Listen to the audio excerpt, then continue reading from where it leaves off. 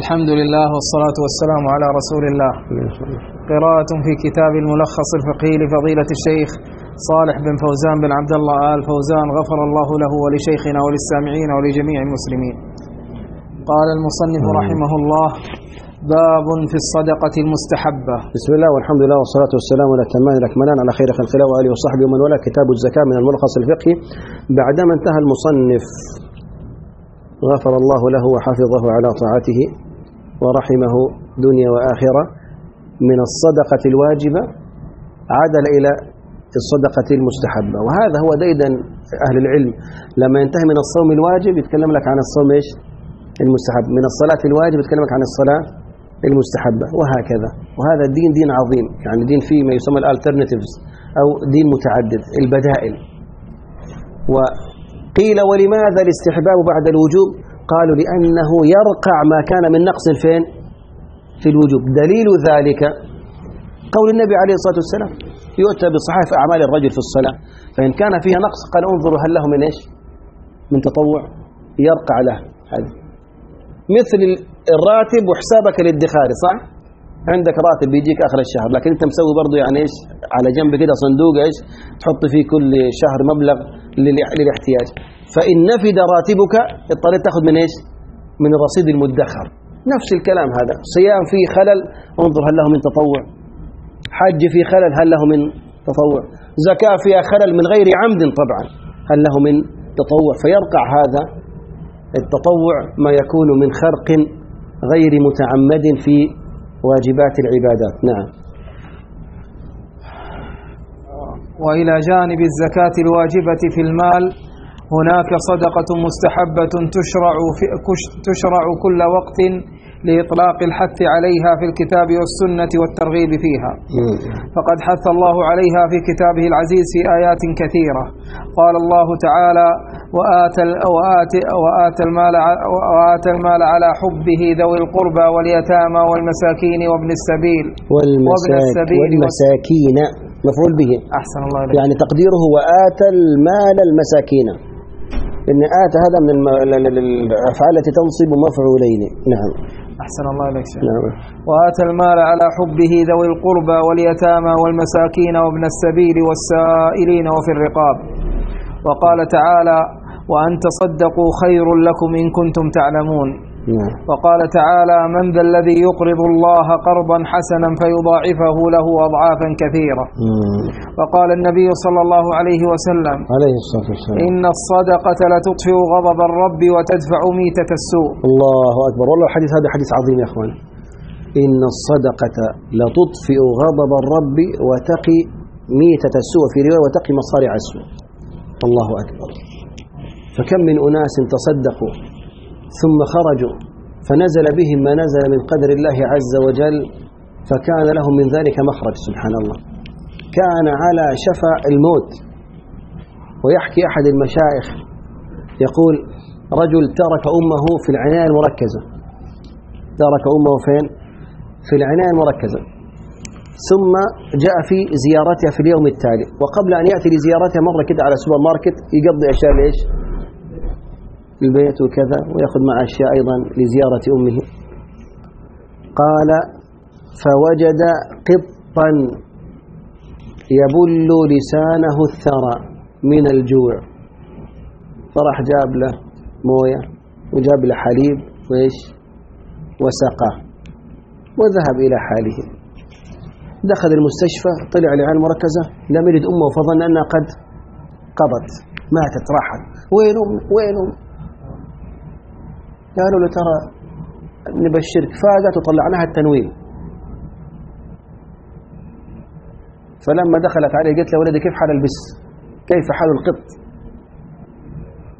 كقول عمر يا سارية الجبل. كيف حال القط؟ قال القط إيش امه قالت القط اللي سقيته. كأني أراه الآن. وأنا منذ ذلك الوقت وأنا قد نجوت مما أنا فيه. وقصص كثيرة في ذلك. يحكي أحد المشايخ الفضلاء يقول رجل كان مريض القلب وعنده عملية في إنجلترا يسمى open heart operation عملية قلب مفتوح. رجل غني ثري في مصر في بلده. وعنده عمارة كبيرة عريضة وتحتها محلات وكذا فهو يطالع من فوق من الشرفة. وكأنه يلقي نظرة الوداع على الدنيا. عملية قلب مفتوح تنجح ولا ما تنجح ما ندري. فوجد امرأة عند أحد محلات الجزارة أسفل البيت تجمع إيش؟ العظم تأخذ على جنب. فكأنه تأثر بذلك. فنزل للجزار قال له إيش قصته؟ قال له دي امرأة عندها أيتام وكذا وحنا يعني نخليها تأخذ إيش؟ العظام تروح تسوي بإيش؟ شوربة حسى مرق لأولاده. قال لا لا لا هذه من اليوم لها 30 كيلو. كل يوم تالي تأخذ منك إيش؟ كيلو. كم حسابه كذا تفضل. رفعت المرأة يعني كفيها وقالت أسأل الله أن يصلح قلبك. سبحان الذي حرك لسانه بهذه الدعوة اللي هو أصلا هو إيش؟ هو محتاجها. قال حسيت في الدعوة دي كده كأن كده تيار كهربائي ضرب في جسمي كده رعدة عجيبة كده كأن ماس التماس حصل فيه. وحسبت الرجال وكذا قلت له جزاك الله خير يا أمك مشيت على حالي ورحت إلى إنجلترا بيسووا لي ريهابيليتيشن اللي اللي يسموه تحاليل قبل ليش؟ العملية التأهيل. قالوا أنت عندك قلب طفل عمره ستة شهور. وقصة أخرى لإحدى النساء من هذه البلد المباركة ذهبت إلى الهند تركب إيش؟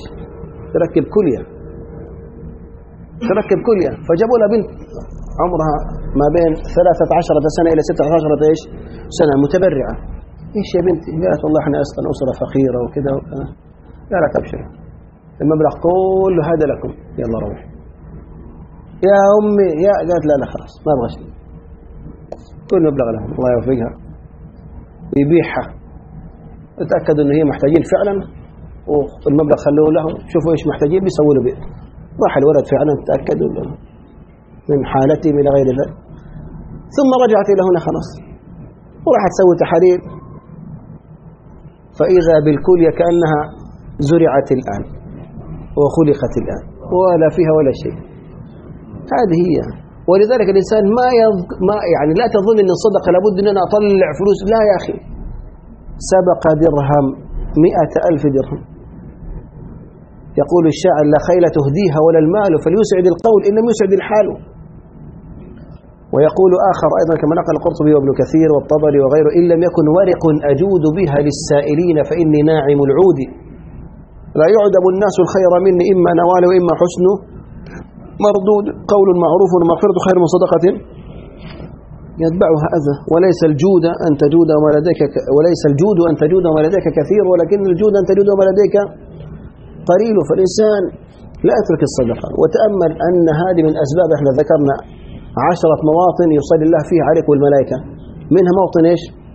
الصدقة. إذا أصبح العبد فإن ملكين ينزلان يقول اللهم أعط منفقا خلفا وأعط ممسكا تلفا وإذا أمسى يعني إذا فاتتنا صدقة النهار ما تفوتنا صدقة إيش؟ المساء. نعم. رواه الترمذي وحسنه. وفي الصحيحين سبعة يظلهم الله في ظله يوم لا ظل إلا ظله. وذكر منهم هذه سبعة أصناف لا سبعة أشخاص يعني تحت كل صنف عدد لا يعلمه إلا إلا الله. نعم. وذكر منهم ورجلا تصدق بصدقة فأخفاها حتى لا تعلم شماله ما تنفق يمينه.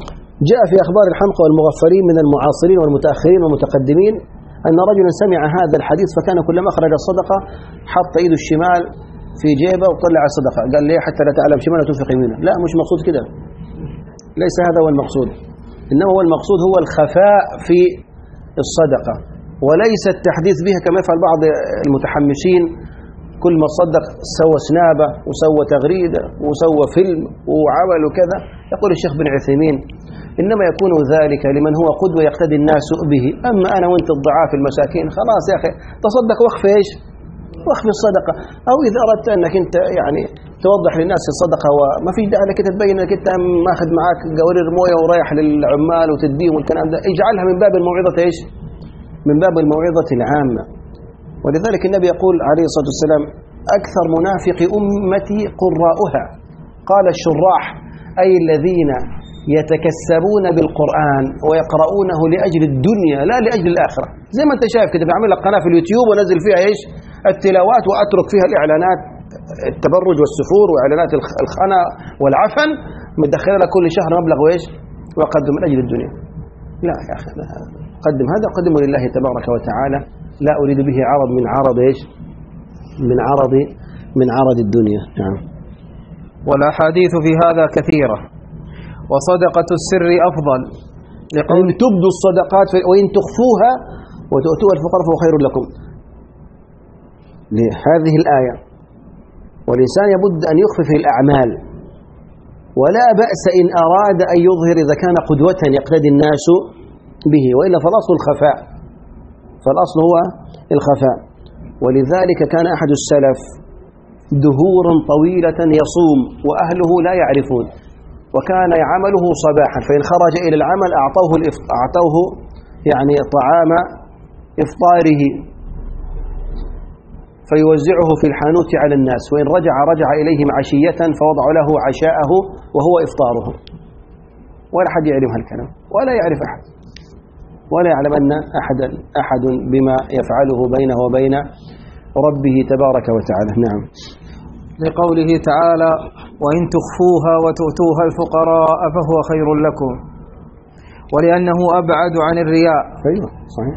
إلا أن يترتب على إظهار الصدقة. مصلحة مصلحة. كأن تكون قدوة يقتدي الناس بك إلى غير ذلك من مثل هذه الأشياء أو يحذو حذوك نعم. إلا أن يترتب على إظهار الصدقة وإعلانها مصلحة راجحة من اقتداء الناس به. وينبغي أن تكون أن تكون طيبة بها نفسه. غير ممتن بها على المحتاج. قال تعالى ولا ولذلك لا تبطلوا صدقاتكم بالمن والأذى بعض الناس تلقاه يحسن إليك. إذا حصل بينك وبينه أي نوع من الجفوة فضح فيك الدنيا كلها. نقول لك غفر الله لك. أبطلت كل ما قدمت. أبطلت كل ما قدمت. نعم. قال تعالى يا أيها الذين آمنوا لا تبطلوا صدقاتكم بالمن والأذى. والصدقة المن هو أذى صحيح؟ خاص. والأذى هو العام. فلماذا عطف العام على الخاص؟ قاله لعظم أزية المن. يعني أخي اضرب الإنسان ولا تمن عليه صح ولا لا؟ يعني ممكن أنك أنت تضربه أو يعني ولا أنك أنت تمن عليه في المجالس فتظهره صغيرا بوسط الناس. هذه صعبة جدا. جرح النفوس أعظم من جرح الأبدان يا أحبابي نعم وكم من حروف جرت حتوفا أخرى دعت إلى خير منيف. نعم. والصدقة في حال الصحة أفضل. أي لحديث رسول الله حديث ابن عمر عند الحاكم وغيره اغتنم خمسا قبل خمس وصحتك قبل سقمك. لقول النبي عليه الصلاة والسلام أن تتصدق وأنت صحيح شحيح. هذا أفضل لأنك أنت خلاص مفارق الدنيا ولا مرض. هي إن شاء الله متقبلة بإذن الله عز وجل مع خلوصها لكن أجرها لا يكون كأجر من تصدق في وقت ماذا؟ في وقت الصحة. نعم. قال صلى الله عليه وسلم لما سئل أي الصدقة أفضل؟ قال أن تصدق وأنت صحيح شحيح تأمل الغنى وتخشى الفقر. والصدقة في الحرمين الشريفين أفضل. هذا فيها آه، حقيقة آه، آه، فيها استدراك على المصنف رحمه الله وحفظه على طاعته لأن لم يرد في ذلك حديث عليه الكلفة والمؤنة وإنما الذي ورد في أمر الحرمين هو الصلاة. صلاة في مسجد هذا تعدل ألف صلاة وصلاة في مسجد الحرام تعدل مئة ألف صلاة. إنما ذكر في أمر الصلاة. فلكي نأتي بتحديدها بليلة معينة كما يقال في ليلة القدر لأن أيضا كما قال الشيخ بن باز إنما خصت ليلة القدر بالقيام والصلاة فيها. من قام ليلة القدر إيمانا واحتساب غفر له ما تقدم من ذنبه متفق عليه. فيكفى على الدليل. والأصل في الكلام التأسيس. والأصل في الكلام الدليل كما هي في القواعد الأصولية. نعم. لأمر الله لأمر الله بها في قوله فكلوا منها واطعموا البائس الفقير. إنما هذا إنما هذا في الأضحية وإنما هذا في الهدي. إنما هذا في الأضحية وهذا في الهدي. فلا يكون على كل ويبقى الخاص خاصا ولا يعمم حتى يدل الدليل على عمومه ويبقى المقيد مقيدا ولا يطلق حتى يدل الدليل على إطلاقه. نعم. والصدقة في رمضان أفضل. لقول ابن عباس كان رسول الله صلى الله عليه وسلم أجود الناس وكان أجود ما يكون في رمضان حين يلقاه جبريل فكان أجود بالخير من الريح المرسلة. وهذا أيضا فيه نظر وهذا أيضا فيه فيه نظر لأن الذي كان يؤثر عن الصحابة أنهم كانوا يخرجون زكوات في شعبان وليس في رمضان. نعم. والصدقة في أوقات الحاجة أفضل. لا شك طبعا في هذا. هنا لا شك في هذا فلا اقتحم العقبة وما أدراك ما العقبة فك رقبة أو إطعام في يوم ذي مسغبة يتيما ذا مقربة لا شك أنك أنت في وقت الحاجة الصدقة أفضل فيها من وقت الساعة. نعم. قال تعالى أو إطعام في يوم ذي مسغبة يتيما ذا مقربة أو مسكينا ذا متربة. كما أن الصدقة على الأقارب والجيران أفضل أفضل منها على الأبعدين. لعموم الدليل لما جاءت زينب زوجة ابن مسعود فقال هي صدقة وصلة. قل أسألكم عليه أجرا إلى المودة في القرب. نعم. فقد أوصى الله بالأقارب وجعل لهم حقا على قريب. أما قول الأقربون أولى بالمعروف فليست بآية ولا بحديث. لكن هو معناها صحيح. نعم.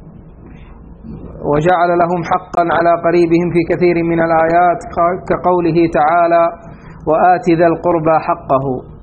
وقال عليه الصلاة والسلام الصدقة على المسكين صدقة وعلى ذي الرحم اثنتان صدقة وصلة. رواه الخمسة وغيرهم. وفي الصحيحين أجران أجر القرابة وأجر الصدقة. ثم اعلم أن في المال حقوقا سوى الزكاة. نحو مواساة القرابة وصلة الإخوان وإعطاء سائل وإعارة محتاج وإنظار معسر وإقراض مقترض. قال تعالى وفي أموالهم حق للسائر والمحروم. ويجب إطعام الجائع وقري الضيف. وقرى وقري وقرى الضيف. أو وقري الضيف على الفعل نعم. نعم. قرى يقري قريا نعم. أحسن الله عليك شيخ. وقري الضيف لا بأس به نعم. وقرى الضيف أيضا لا بأس به. هذا على الفعل هذا على المصدر. نعم. أحسن الله عليك شيخ.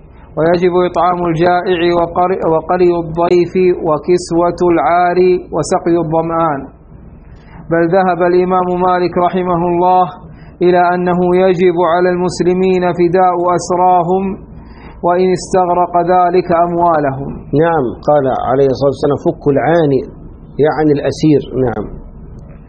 كما أنه يشرع لمن حصل على مال وبحضرته أناس من الفقراء والمساكين أن يتصدق عليهم منه. وهذا قول من حضر القسمة فل فليقتسمها يستحب ذلك. نعم.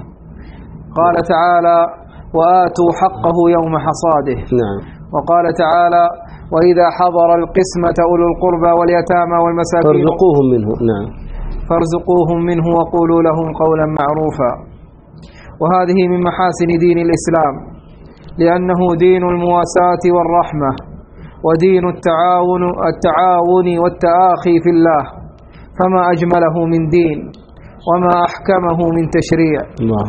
نسأل الله تعالى أن يرزقنا البصيرة في دينه يا رب. والتمسك بشريعته إنه سميع مجيب. وبهذا اللهم آمين. وبهذا يكون انتهى الربع الأول من الفقه وهو ربع العبادات وسيأتي معنا إن شاء الله من المجالس القابلات الربع الثاني وهو ربع المعاملات ونبدأ بها البيوع إن شاء الله عز وجل نكون بذلك عن انتهينا الحمد لله رب العالمين من الربع الأول الأركان الخمسة كلها انتهينا منها خذ العقيدة عن الصلاة والصيام والزكاة والحج سنبدأ بعد ذلك في البيوع إن شاء الله تبارك وتعالى. السلام عليكم الحمد لله والصلاه والسلام. جزاكم الله خير.